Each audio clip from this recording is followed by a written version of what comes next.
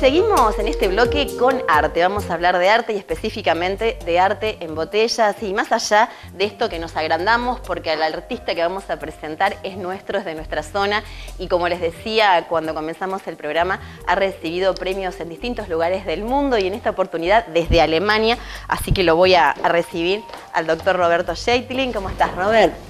Bien, bien. Un placer que estés aquí hablando de, tu arte, hoy no de medicina, ¿no? No de medicina. Le contábamos a los chicos, eh, los que ya te conocemos sabemos de tu pasión por este arte de hacer barcos en botellas, que realmente denota de una paciencia y de un amor tremendo. Pero bueno, para la gente de la zona que aún no te conoce, saber un poquito más de, tu historia de artista, ¿no? Porque tu profesión visible es la de médico, pero hoy está saliendo en muchos este, medios a partir de estas creaciones, ¿no? Bueno, este es un arte bastante complejo, eh, no se sabe de cuándo data, es decir, cuándo empezó, digamos, eh, a quién se le ocurrió meter un barco en una botella. Se piensa que puede haber aparecido alrededor de los años 1700, más o menos, que fue cuando con la revolución industrial se empezaron a hacer eh, envases de vidrio en forma masiva o, industrial. Y probablemente los marinos europeos que salían a, conquistar el mundo para mitigar sus penas se tomarían todo y después meterían una carta Claro, desde, las cartas que iban al mar, es verdad. Yo creo que eso debe haber sido un poco el origen. Sí, este pero no, no se sabe realmente cuándo, ni dónde, ni, quién hizo el primero. Sí se tienen noticias que el más antiguo conocido data de 1784 y está en un museo, eh, en el Museo de Historia de la ciudad de Lübeck, en el norte de Alemania. ¿Y qué barco era?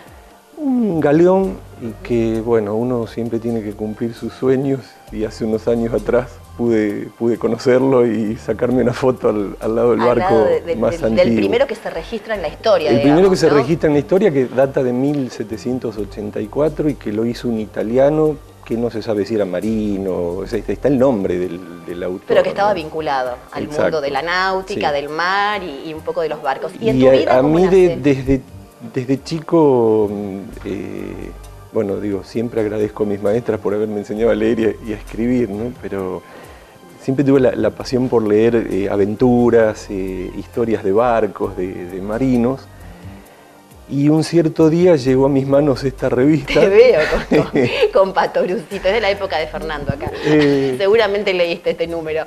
¿Y bueno, en, la historieta le, habían regalado a Isidorito un barquito, una botella que tenía un secreto, las clásicas historietas. Vos que te habías más reflejado con Isidorito Cañones, ¿no? Exacto.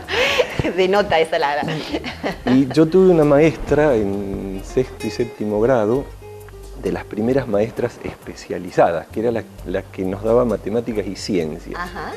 Una mujer a la que quise mucho y de la que aprendí mucho, y yo le mostré esta revista y le digo, ¿cómo se hará un barco adentro de una botella? Y me dijo, debe ser muy difícil, dice, pero intentalo que vos lo vas a lograr. Mirá qué bueno. Y bueno, y ahí empecé y a, los 12 años eh, logré hacer el primero, que era algo muy rudimentario, una canoita con un palito ¿Y dentro de qué botella, Robert? Ah, era de un viejo aceite, que el, vidrio era verde, grueso, que había que mirar por el, por el pico para, poder ver la, la obra, que bueno, lamentablemente no la tengo.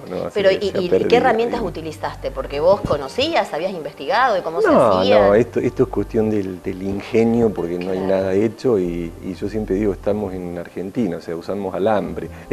lo atamos con alambre, es verdad eso. No, se, utilizan trozos de, alambre que uno los, eh, les va torciendo la punta de acuerdo a, lo que tiene que ir haciendo eh, adentro de la botella. ¿no? Y hoy en día utilizamos algunas pinzas y tijeras de cirugía laparoscópica. ¿eh? Claro, El inconveniente, el costo que tienen, pero bueno, a veces las, de descarte que ya no andan bien se pueden utilizar. ¿Y, cómo, cómo, cómo mixás un poco? Porque bueno, esto lo hiciste desde muy pequeño, luego la vida te fue llevando a elegir una profesión, elegiste medicina, este, y tuviste que abocarte, calculo, de lleno a eso, pero nunca dejaste de, hacer estas obras, porque tenés registradas en tu haber muchísimas. Sí, Sí, sí. En los años de la carrera universitaria no, eh, no, no, no, hice nada. No pudiste. No, eh, lo retomé después de, unos años de haberme recibido. Y bueno, poco a poco los fui perfeccionando, porque de inicio hacía barcos, pero que no, no eran a escala, era un barco. Pero después ya empecé a, buscar planos de barcos y bueno, intentar hacer réplicas. Porque son réplicas de barcos reales que existieron o que existen. O, que existen. Eh, tratar de hacer barcos emblemáticos, digamos, en, el mundo.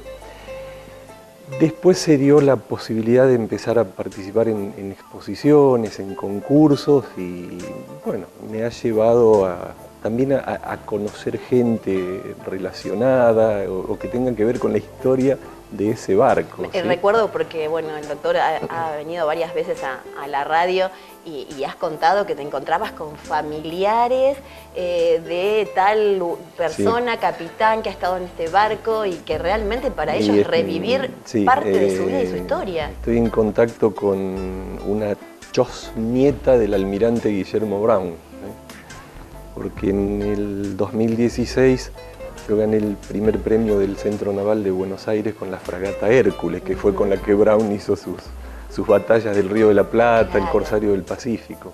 Porque aparte es parte de la historia y también de nuestra historia, de la conquista, de territorios, de océanos. Las cosas que lamentablemente se ha perdido y que no se enseñan hoy en día. ¿no? Tendrías que también dedicarte a eso, a poder dar charlas en los colegios, esto es muy instructivo. Bueno, y estamos viendo fotos de tu último viaje que, que fue a Alemania y estados con personalidades del mundo que realmente te han felicitado y un premio muy importante. Sí, y, Alemania tiene la Sociedad Nacional de Armadores de Barcos en Botellas, con bueno, su presidente, secretario, asesores y, y demás. Y esos organizan exposiciones anuales que no son exactamente concursos porque no, no es que premien así, que diga este es el primero, este es el segundo, porque realmente todos se merecerían un, premio. Claro, porque tiene connotaciones además, más allá de, la, obra de eh, arte. Eh, sí, distinciones. Claro, eh, Porque bueno, en el caso mío yo es la tercera vez que participo y bueno, siempre me han distinguido por ser el único participante de toda América.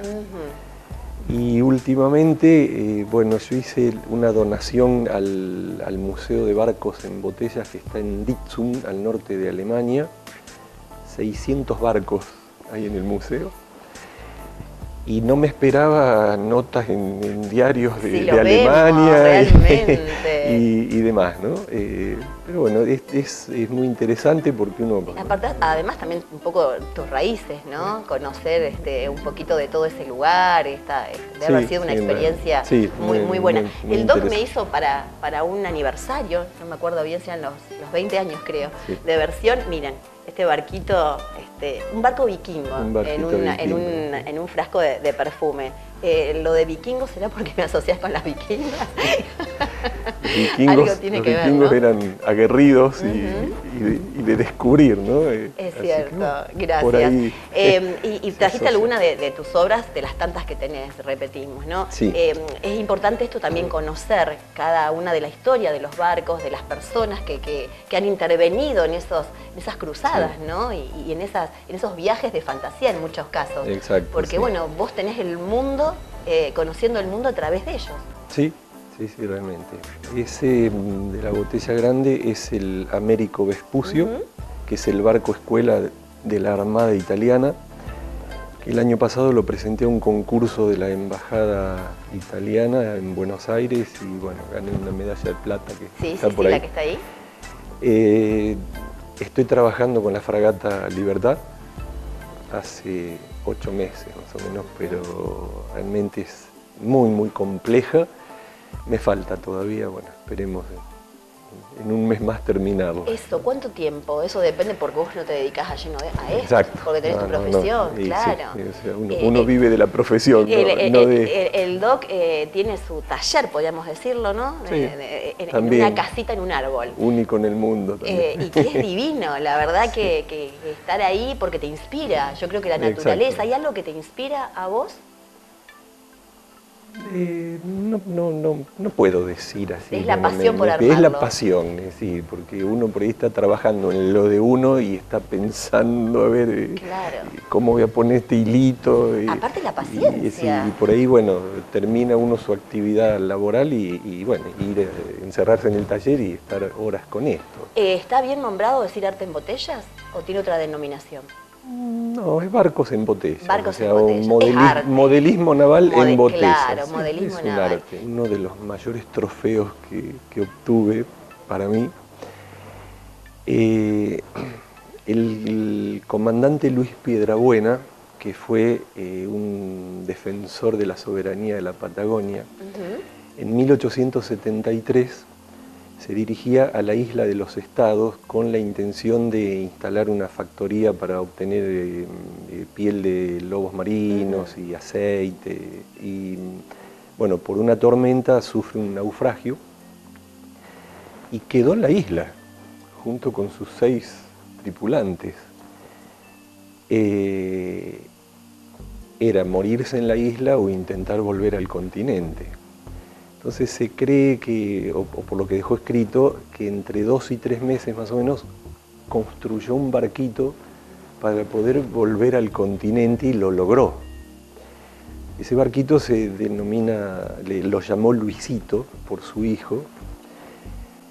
Eh, yo lo presenté a la exposición del Centro Naval de Buenos Aires, que lo tengo hecho en una botella, y al cabo de unos 15 o 20 días me llegó una carta a mi casa, que la tengo aquí, Ajá. Sí, me acuerdo que nos habías contado. Ajá. Dice, señor Roberto Sheitlin, estimado amigo, agradezco la réplica del Luisito que, que presentaste en la Exposición Nacional de Modelismo Naval, que con tanto sacrificio mi bisabuelo, comandante Luis Piedrabuena, construyó en la isla de los estados en tres meses. Gracias por recordarlo a este caballero. ¿eh? Te saluda Gladys Turner Piedrabuena. Fue una emoción grandísima, ¿no? Y le llamé por teléfono a la mujer. Estuvimos hablando un rato largo, tenía 87 años en ese momento. Es lo que te decía, movilizar Eh, la historia. Y bueno, quedamos en, un próximo viaje a Buenos Aires. eh, me había invitado a cenar a su casa, eh, charlar de, su bisabuelo. Y cuando concretamos la, la cita, eh, tres días antes me avisaron que hizo una muerte súbita. Así que no la conocí.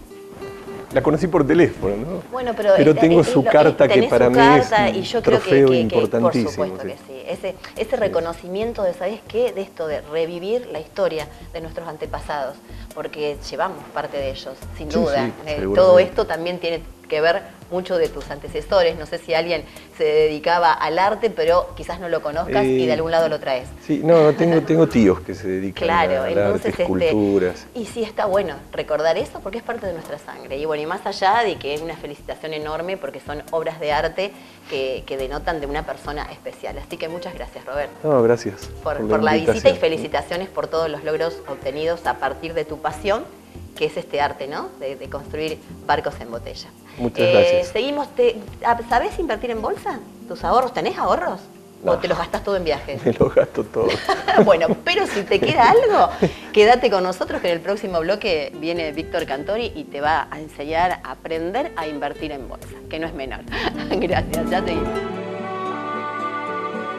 barquito de papel, sin nombre, sin patrón y sin bandera, navegando sin timón, donde la corriente quiera. Aventurero audaz, jinete de papel cuadriculado que mi mano sin pasado sentó a